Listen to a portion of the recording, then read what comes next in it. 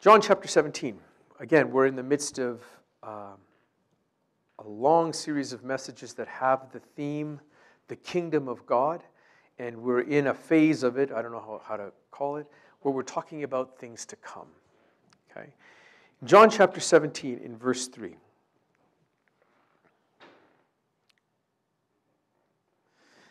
Jesus says, This is eternal life, that they may know you, the only true God, and Jesus Christ, whom you have sent. Okay? This is eternal life, that they may know you, the only true God, and Jesus Christ, whom you have sent. In Psalm 119,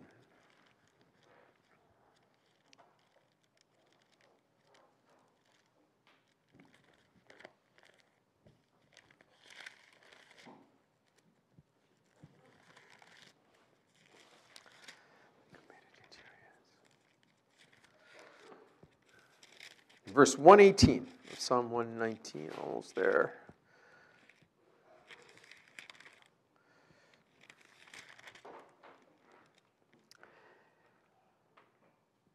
Oh, that's not the right one. Oh, sorry. Psalm 119, verse 18. Open my eyes that I may behold wonderful things from your law. Open my eyes that I may behold wonderful things from your law. Let me start by saying, regardless of what we're talking about, at the end of the day, what God has made us for, everything that pertains to the promises that are attached to eternal life, all center on you knowing and growing in your knowing the Lord. Okay? Now, as I've mentioned to you many times, um, there are interesting things here in the scriptures. There are things that are not simple, they're not, they're not uh, simplistic to handle. There are deep and complex things that have subtleties, that have many threads that weave together. And you can get lost knowing about all of those things and then therefore completely miss why they were even given. And that is that you might know Him. Okay? So I, I want to start by saying that whatever else we may see, if we talk about um, you know, the book of the Revelation that's given at the end, uh, if we talk about you know, uh, matters that have to do with what is God doing with Israel now, like has the church replaced Israel because Israel rejected their king? And is sort of all those promises are now embodied in the church in some way. Whatever it is that we might end up talking about, if we just end up talking about the stuff, we've missed the point. All of these things and their complexities, I personally think it's almost God designing it to say, You're never going to understand this if you don't come to me. It's like He's almost saying, You, need me. The point of this is not that you might understand things. I, am not sure if you're aware, but um, the idea of theology, that's a formal study of things. And you can spend your entire life studying certain aspects of theology. Like what does, what, you can spend your entire life studying something called ecclesiology. What is the church? Right? Or you can study hamartology, which is what does sin actually mean and how does God use it? And you know, in all of that, you can come to, there are people who are experts in um, the translation of the scriptures, why you choose these words and not these other words, and how to express it, and they don't even love Jesus. It is possible for these to be a topic.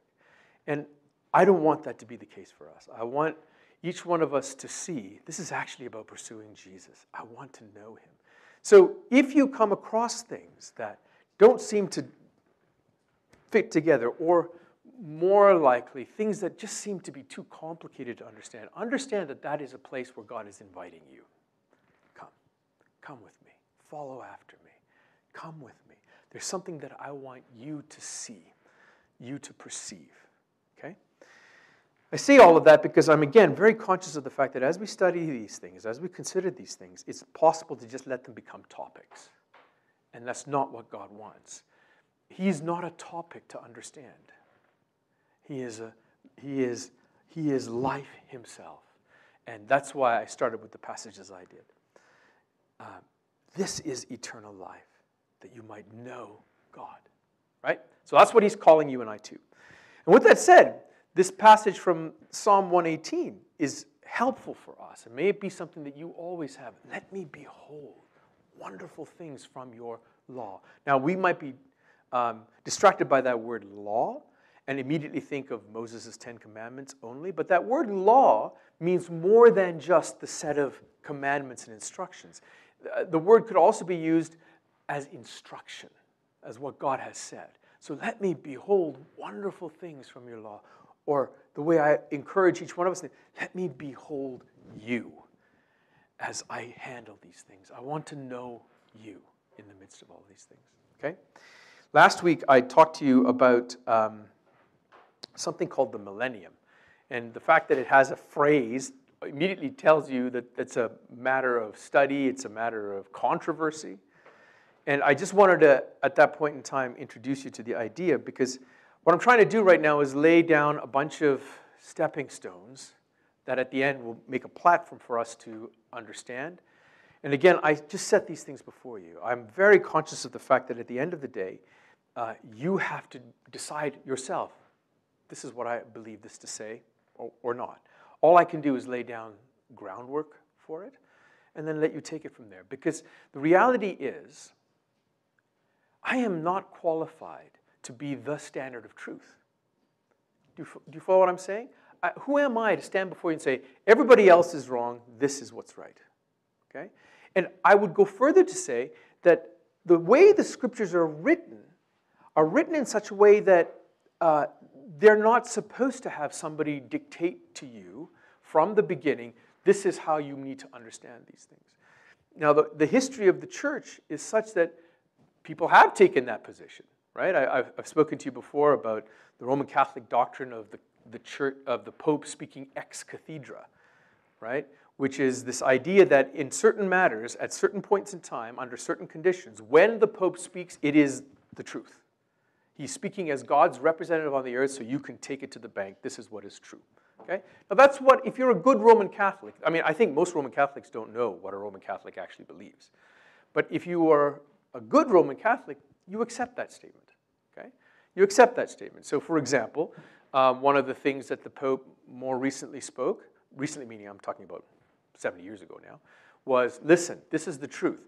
Mary did not die, she ascended into heaven just like Jesus did. Okay, so that is an element of Roman Catholic theology. Well, how? Because the Pope has declared it, and he declared it ex cathedra. Now, on the one hand, obviously, I don't agree with that, but I'm not at the same time trying to make fun. I'm just trying to give you an example of how, in our history, there have been places where people say, This is just the way it is. You've got to believe me. I'm not doing that. I'm not doing that. I understand, at least with all the sincerity within me, I don't see how you can remove from a person the right for them to figure this out for themselves. Then it's like God wants, God wants you to pursue Him in these things, but Titus will give you a shortcut. That makes no sense, right? He is the point of all this, He is the treasure of all of these things.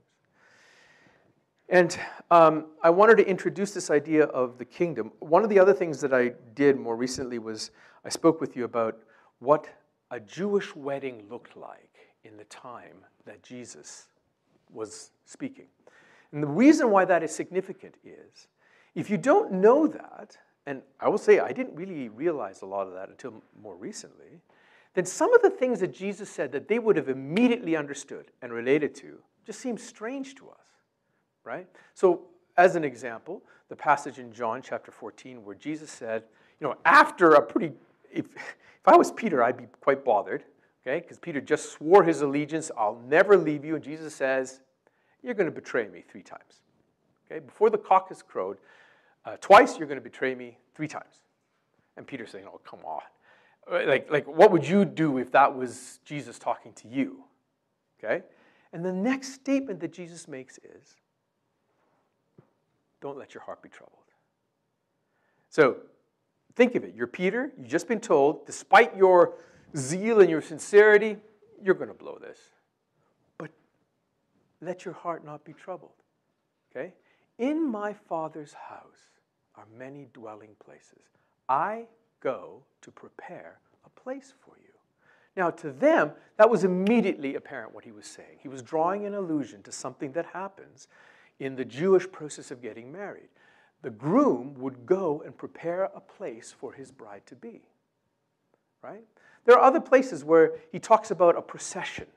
Um, the parable of the virgins who have oil and the ones who don't.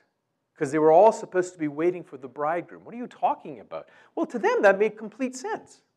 Right? Because one aspect of the way is once the place was ready, and the groom didn't know when that would be, that'd be up to the father, then the groom would come in a procession to go get his wife from where she was. And the instruction to the wife and her companions was, you don't know when, be ready. To them, that made sense. It wasn't like, what, like, what is this even talking about? Remember that these things were spoken to a culture, a people who had understandings, and part of our responsibility is to go and see what is he talking about, right? Have you noticed that Jesus never talks about texting or Facebook? He never talks about it. Why is that? Because texting doesn't actually exist? No, obviously not. But he spoke at a time, painted pictures at a time that they would understand, and part of our responsibility in pursuing him is understand that. Understand that, right? Okay. Um, so I wanted to set that in place. What I'm aiming towards here is a deeper understanding of this reality. The church is not just yet another project that, the God, that God has brought about. You know, he started with Israel, they blew it, well, now there's the church. And there is a thought amongst many Christians that the church does take over from Israel. Okay? And when I say that, I want you to understand, I, I, I, I confess this challenge. I don't think that. But I want to be faithful in setting it before you so that you don't catch my snark as much as you catch just the truth. And again, I want you to leave it. But I am completely convinced that that's not the case. But let's just say it is the case, okay? So there are all these promises that are made to Israel, and now you believe that the church, because Jesus was rejected by the Jews, you believe that now that applies to us, okay? Well, what do you have to do for that to work? Well, there's all these very concrete promises made about Israel in the Old Testament, about this king who was coming. There, uh, you know, I, I don't know, I think I gave this as homework, but I don't know if anybody did it. Go back and read the prophecies that are made about Israel in the book of Daniel. Okay, some very, very concrete, like down to numbers kind of thing that are spoken about when things were going to happen. So if it's the case that now the church has taken over because Jesus was rejected, what do you do with those promises? Well, what you have to do is turn them into something else. Okay? Somehow, either they don't apply anymore. They're just, we just drop them. They're, they're gone because they don't apply. Okay? They blew it, so all that is canceled. What does that then make you th- say about what God is like if you take that approach? God did not know they were going to blow it. But they blew it, so we throw it away. Then that says something about what you think about God, that He doesn't know the end from the beginning. He does, right? All of this is to say, your approach to Scripture will determine how you understand these things. If you are of the mind that Scripture is something that's symbolic, uh, it's figurative only, right? So you see all these pictures. Yes, yes, yes, there's a promise of a kingdom, but we know that that's not necessarily literally a kingdom. Then you'll interpret and come to conclusions that somebody who says, no, everything that he said will come to pass, will come to pass, you'll come to different conclusions. Okay? And I just wanted you to be aware because what I'm about to say, as these things unfold, I'm going to set before you things that not everybody agrees with, but it is worth understanding why do they not agree with it? And so part of that is rooted in what is your approach to Scripture, right? Is it literal?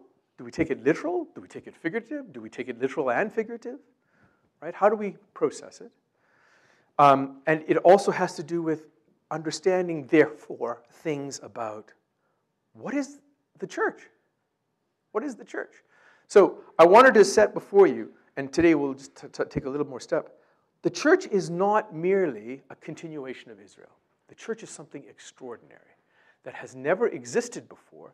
It wasn't a surprise in the sense of God didn't know what to do, he came up with it at the last moment, as much as it is the uncovering of a mystery. The word mystery, as it's used in the Newer Testament, is not, you can't figure this out. Okay? Like, you know how, uh, you know, if you see a mystery novel, if you read a mystery novel or a mystery movie or something like that, what does that usually mean? It means you got to kind of weave your way through and figure out what really happened at the end. But that's not how mystery is used in the Newer Testament. It is something that was hidden, but now has been uncovered by God, so you can see it. Okay? So, in the Older Testament, the, the, the people of God had no clue of the reality of what the church would mean. Okay? And we'll touch upon some of those things. Let me put it this way they had no thought that a person could be a temple of the Holy Spirit. That would be blasphemous almost. Right? Temple, it's right there. What are you talking about? God dwells in there. But the Newer Testament uncovers this reality that what has happened is that you are now temples of the Holy, oh, of the Holy Spirit. Okay? I give that as an example, and I will bring some scripture to show it. As, so they cannot be the same thing. They cannot be the same thing. Something has changed. And so, long story short, I, I'm going to propose that we handle Scripture as if, unless God gives reason to say this is figurative, that we take it as literal. Okay? Now, there is plenty of places where God says something, and it's clear it has to be figurative. Okay? I'll give you a classic example. At least in my mind, it's a classic example. The scriptures talk about the corners of the earth. Okay? The corners of the earth. How many corners does a sphere have? None. So clearly, the earth cannot be round. Clearly. Scripture is literal, right? Well, no. So, how do we understand when it's figurative, when it's not figurative? So let me just suggest to you this. First of all, when it's figurative, God will make that clear. Secondly, it has to comport with reality. Okay? What God says is true. Okay, now, I don't mean it has to comport with what I think is reality, but it has to comport with reality. Now, we know in the time that we live, the earth is absolutely not flat. Absolutely not flat. Absolutely not flat. Okay? If there's anybody who thinks the earth is flat, please come and see me. There are people, sincere, who really believe it is flat because they really want to honor the scriptures. Okay?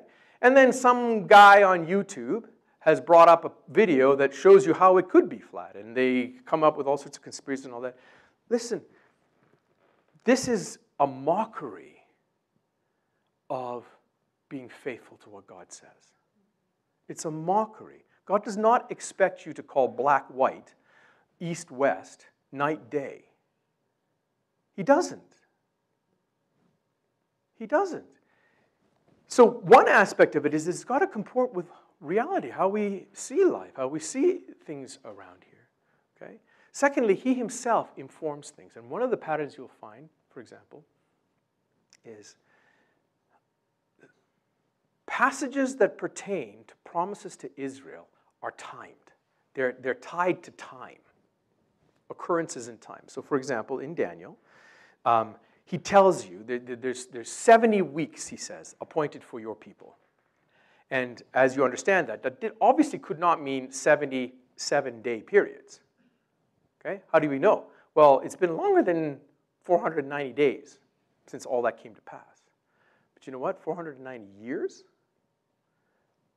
That is significant you will find that the timing of these things came down right to the year.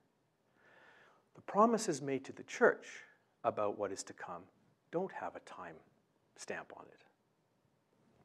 Okay? So, for example, what did Jesus tell his disciples? They asked, Is it now? When will these things happen? Okay?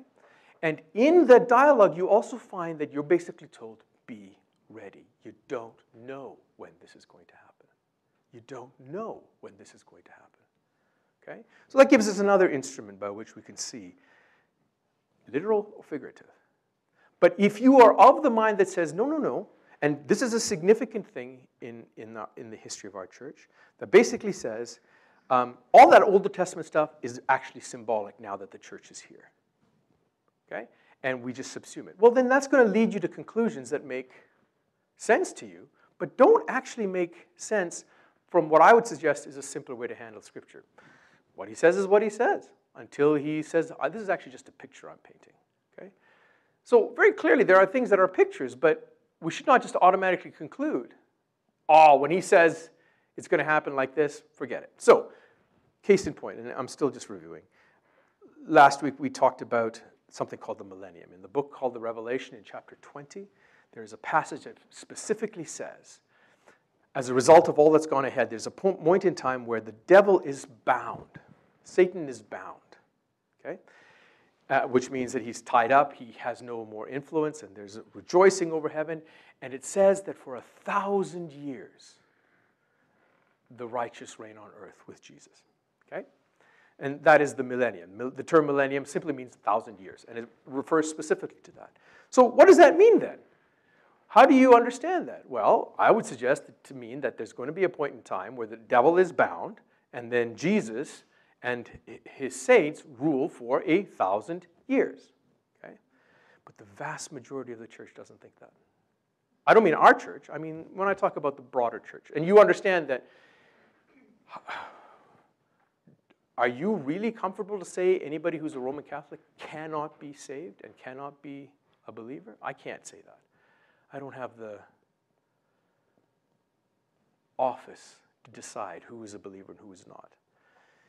But a large part of the church, a large part of the larger body that says we name Jesus as our Lord, thinks we're already in the millennium. That the devil has been bound. When did that happen? Do you remember Jesus said in Matthew chapter 28? All heaven, all authority on heaven and earth have been given to me. Doesn't that mean the devil's been bound?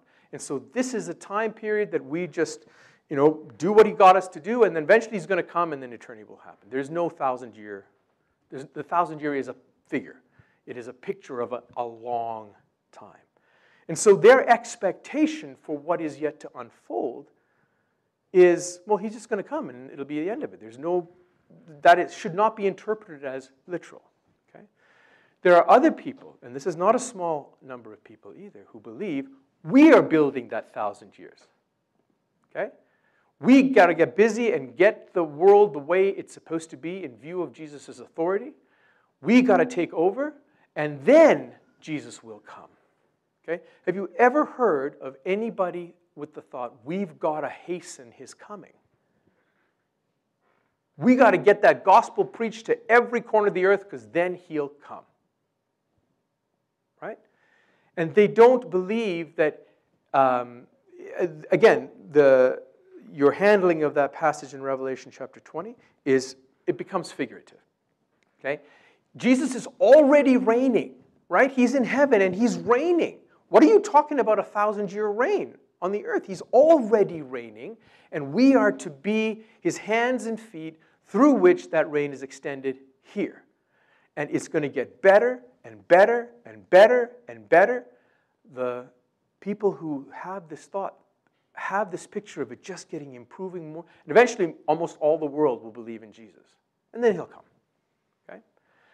I would like to suggest that if we take this approach that says Scripture is Scripture, leave it literal until he makes it clear it's not, would lead you to believe things are going to happen in such a way where Jesus is going to come and then he will reign.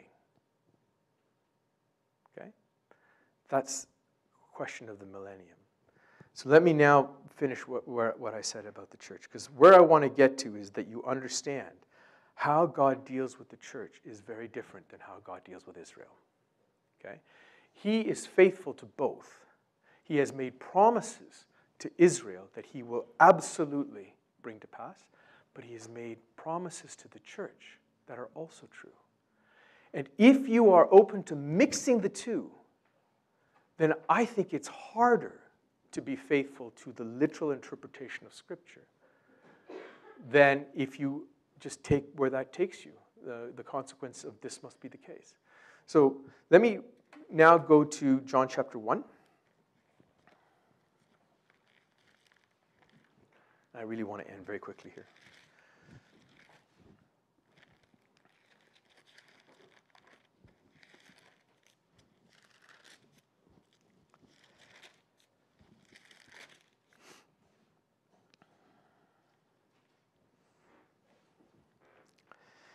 Uh, let me start reading in verse 9 of John chapter 1. There was the true light, which coming into the world enlightens every man. He was in the world, and the world was made through him, and the world did not know him. He came to his own, and those who were his own did not receive him. But as many as received him, to them he gave the right to become children of God even to those who believe in his name, who were born not of blood, nor of the will of the flesh, nor of the will of man, but of God. Okay? So, before Jesus came, the revelation of the righteousness of God was through the nation of Israel. Okay? It came to the nation of Israel, right? You had to be a descendant of Abraham because God made promises, literal promises of a man named Abraham.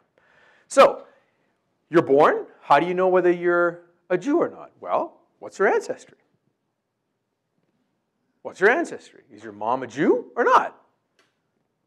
Right? So they could trace their lineage. You know, the, the, the, the, the tribe of Levi was given the extra special privilege of being the ones who minister to God. Okay? So you could not grow up in Israel and say, you know what, I really want to be a priest. If you were not descended from a particular line in Levi. Okay? I grow up, my dad is a, you know, a scientist, and I grew up thinking, I, I really want to be a chef. Okay? Well, that kind of thing didn't come to, I really want to be a minister in the temple. Well, what's your lineage?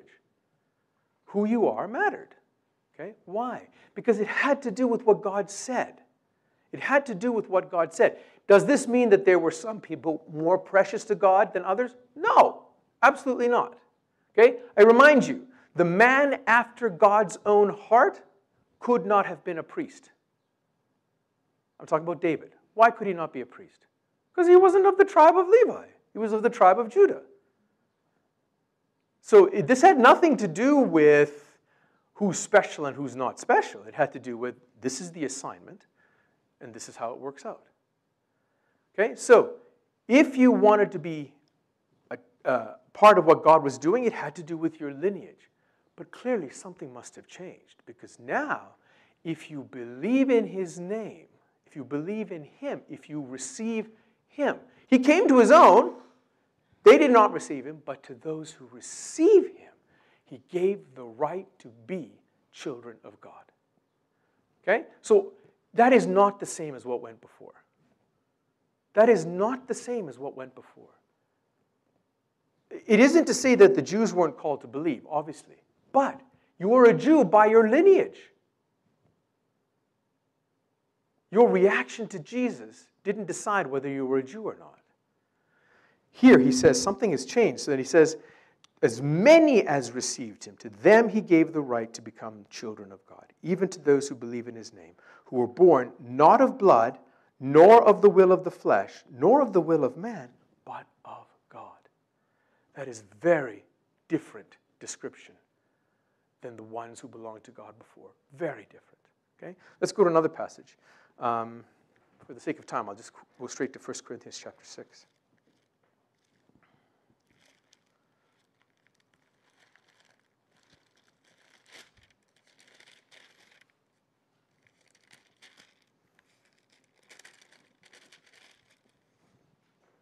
In verse 19,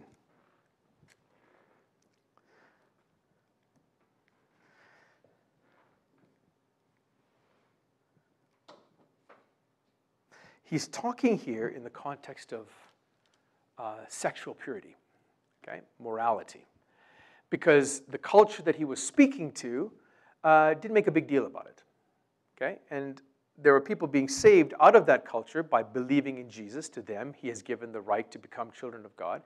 And they don't realize that means everything is different now. And so Paul is talking to them, and he says here, um, just for context, I'll go back. Do you not know that your bodies are members of Christ? Shall I then take away the members of Christ and make them members of a prostitute? May it never be. Or do you not know that the one who joins himself to a prostitute is one body with her? For he says, The two shall become one flesh. But the one who joins himself to the Lord is one spirit with him. Flee immorality. Every other sin that a man commits is outside the body, but the immoral man sins against his own body. Or do you not know that your body is a temple of the Holy Spirit who is in you, whom you have from God, and that you are not your? For you were bought. You have been bought with a price. Therefore, glorify God in your body. So he's obviously talking about how to behave, but he throws this line in that roots, anchors all of it. You're not what you used to be. You are a temple of God. Now, the idea of temple to the Jews is extremely significant. Okay? It represented God's promise, I will dwell among you.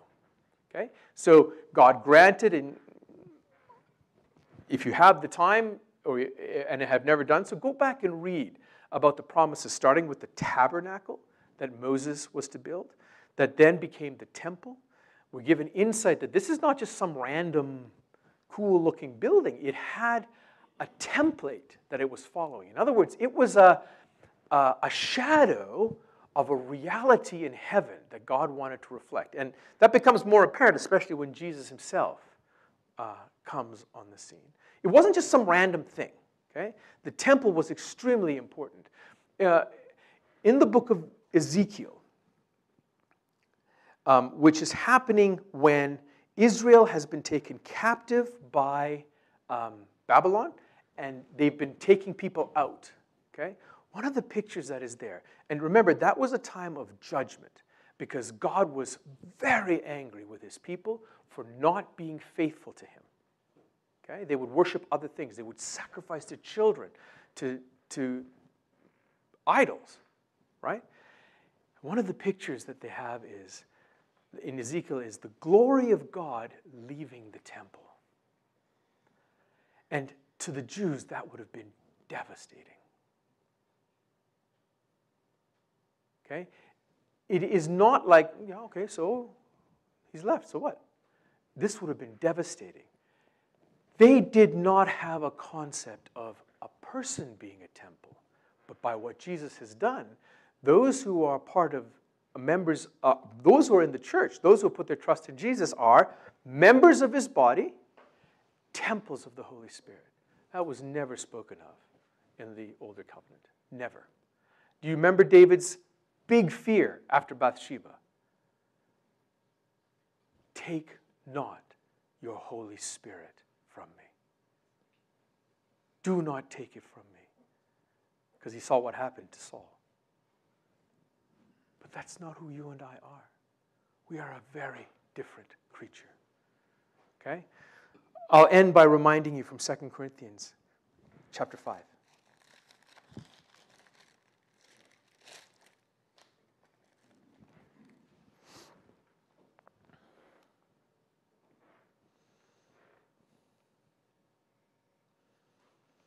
Therefore, if anyone is in Christ, he is a new creature. The old things passed away. Behold, new things have come. Now, all these things are from God who reconciled us to himself through Christ and gave us the ministry of reconciliation, namely, that God was in Christ reconciling the world to himself, not counting their trespasses against them, and he has committed to us the word of reconciliation. So, whatever this is that we're involved with, it's not what was going on before continued. It is a new thing that he has done. Not, I didn't know I was going to do this, but then when you rejected the king, I got to come up with plan B. This was always the plan. Remember, if you go back to the promise made to Abraham, in you, all the nations will be blessed. Okay, so this was rooted from the beginning. God may have chosen a nation, but his goal was always everyone. His objective was always to restore everything. Okay, it's just that's the way it unfolded. And in the wisdom of God, then Jesus, descended from Abraham, shows up. They reject him, and God's plan, then the next more glorious aspect of it is uncovered the church. I'm going to end there. The reason why I say this is important is if you don't realize how different what you and I are from what was before, then you will be open to God treating us the same way as he treated the Jews from before. We have passed out of judgment into life, is one of the passages that says. We are no longer objects of wrath. Now, that one is a hard one for Christians who are still rooted in their performance being why God approves of them. And they haven't come to grips with there is not a thing you could do to convince God to favor you.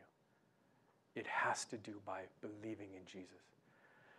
You know, the, the, the, the whole uncovering of this mystery that was something hidden but now is revealed that Paul goes through in Romans chapter 4, 5, 6, 7, 8.